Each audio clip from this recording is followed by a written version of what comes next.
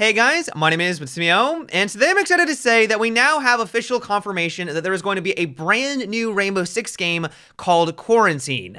At the E3 Ubisoft conference, they showed a short little teaser trailer, which is what you guys are seeing right now, and from the looks of it, it is essentially going to be the Outbreak DLC that we experienced in Rainbow Six Siege about a year ago, but it is going to be a three-man co-op with its own story to tell. Now, what we do know so far is that while it is going to be its own unique game, I don't think that this is going to be a free update to Siege. It is going to be something that you have to buy on the side. They are going to share a lot of similarities. For example, there is going to be destruction. You're going to be able to use that to flank and hit the enemy from a different angle. There's also going to be the same weapon mechanics, or at least they're going to be very similar. The ones that we've grown to love, that is going to be infused into Quarantine. There's also obviously, if you paid attention to the trailer, going to be the same operators from Rainbow Six Siege. As you guys will notice, there was Ela and uh, Vigil that were helping this guy on the floor.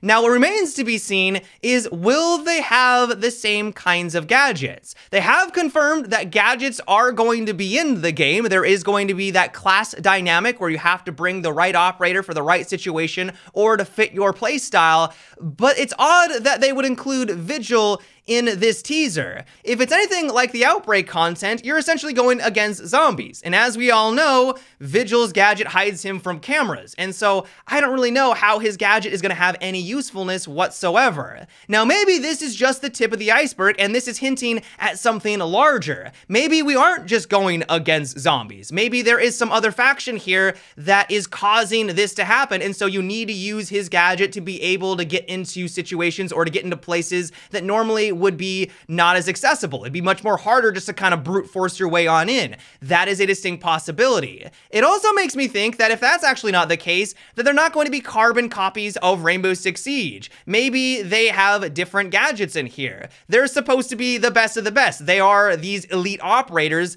and so while their gadget might work one way in Rainbow Six Siege, that may not be the case in Quarantine. It remains to be seen.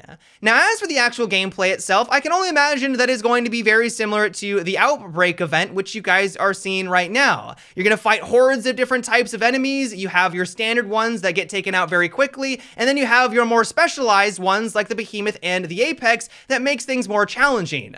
The hope that I do have, though, is that they are going to give us way more variety in the kinds of zombies that we're going against. If this is going to be a PvE co-op experience, the variety is going to be the spice of life. If they only give us a couple of more from the Outbreak content, I can't imagine this lasting all that long. And so I'm crossing my fingers that they are going to bring something more, either having a wide variety of different zombies to go against, or like we talked about earlier, maybe there is a faction that you're trying to stop that is also going to mix up that kind of gameplay. The one thing that I do really want from this game, though, is a complete story and one that expands upon the characters that we've grown to love. You've already shown that there's going to be Ela and Vigil. In the promotional art, it looks like there is Lion in there. Now, I don't think that they're going to have every single operator in Rainbow Six Siege represented here. I doubt that's going to be the case. We already have a lot, and to get all of their gadgets to work in this kind of scenario in this context probably just simply wouldn't work. But if you're able to narrow it down and bring us a complete story surrounding a specific amount of operators,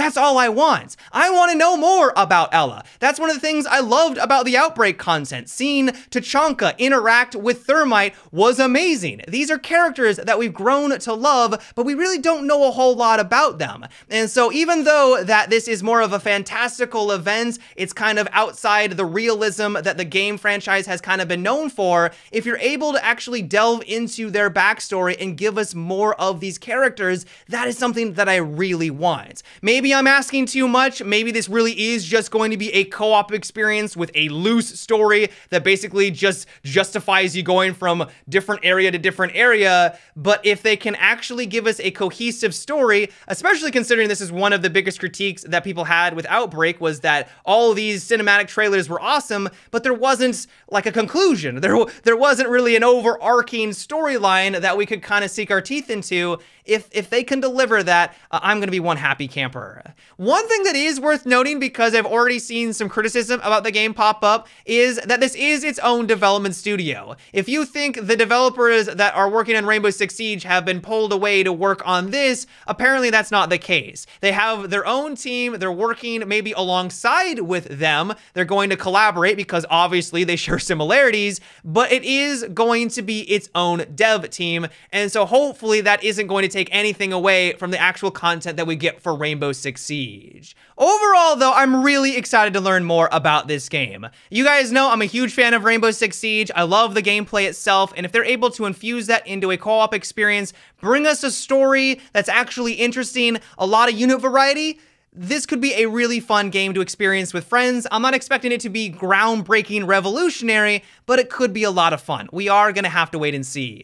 Uh, but yeah, guys, that is what it for today's video. I hope you enjoyed. What I do find funny about this entire thing is that it basically confirms that we, the player base, were essentially the testers or the guinea pigs to see if this was something that Ubisoft wanted to pursue, and honestly, it makes sense. Ubisoft spent a lot of time and investment on the Outbreak content, and a lot of people, me included, were quite puzzled that this wasn't something that they were going to bring back into Rainbow Six Siege. Especially considering that they've been doing these events every once in a while, a lot of us thought that it would see a return. They have confirmed that wasn't the case, and so many of us were thinking, why put so much effort into it if there was only going to be that brief window to actually enjoy said content?